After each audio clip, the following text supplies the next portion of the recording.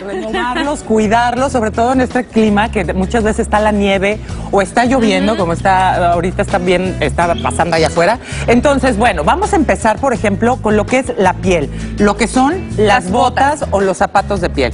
¿Qué es lo que pasa? Que cuando sales y llueve, si no los limpias, se le hace como una, lo que le llaman unas rayitas o unas Una manchas de sal. Ajá. ¿Ok?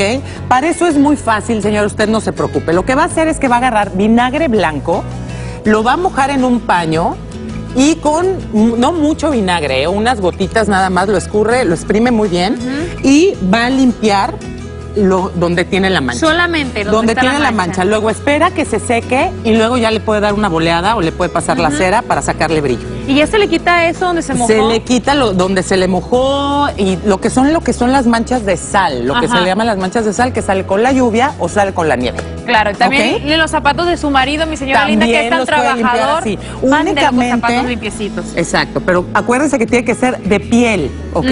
Ahora vámonos a ver cómo vamos a limpiar la gamuza o el ante, lo que llamamos el ante. Sí. Esto es muy fácil. Si usted tiene unas botas o unos zapatos, sobre todo lo oscuro, que, se, que, que obviamente se nota más, lo que va a hacer es que mientras se va a bañar, va a meter las botas y las va a dejar a un lado del baño para que con el vapor se van a humedecer tantito, no las va a mojar, se va a humedecer. Y ya cuando estén húmedas, lo que va a hacer es que con un cepillo como este, que son para cepillar zapatos, va a empezar a cepillar lo que es la gamuza en sentido contrario de cómo está la Jamás la- se la moja piel. la gamuza, ¿verdad? Se puede llegar a mojar, también se pueden quitar las manchas con el vinagre o si no con los wipes de bebé o las toallitas de Ah, bebé, sí. que son maravillosas, también se puede quitar. A ver, ya a mí que me quedaron ganas está. de quitárselo acá, porque yo Ok. luego he echado a perder unas botas. Por ejemplo, los wipes sirven muchísimo para cuando tienen zapatos de charol, que se les hacen como, como rayas, como que se ras, como que les salen raspaduras.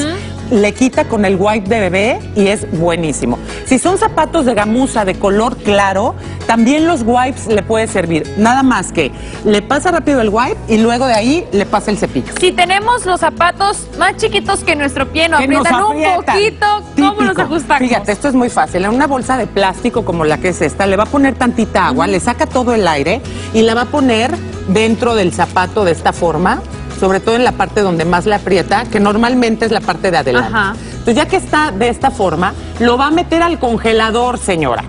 Lo mete al congelador, ¿ok?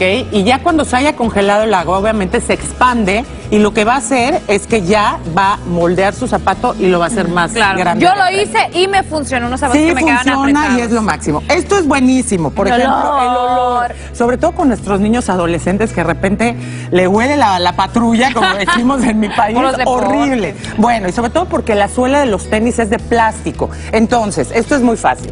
Una media, una tobimedia, o sobre todo esas medias que, que les dan para probarse los zapatos en cualquier tienda. Entonces, le va a poner eh, tantito lo que es eh, unas dos, tres eh, cucharadas, perdón, de lo que es bicarbonato de sodio. Y luego, en cualquier farmacia pone un poco de gotas de aceite de lavanda, lo cierra con una liga y cuando se quiten los zapatos, los va a poner de esta forma. En el closet, lo mete dentro del zapato o del tenis y Y ya está. listo, durante la noche ahí se va el mal olor. Así Muchísimas es. gracias, Maggie, por esos consejos No, que nos encantaron a todas las que somos amas de casa, grandes y chicos, ¿verdad que sí? Así es.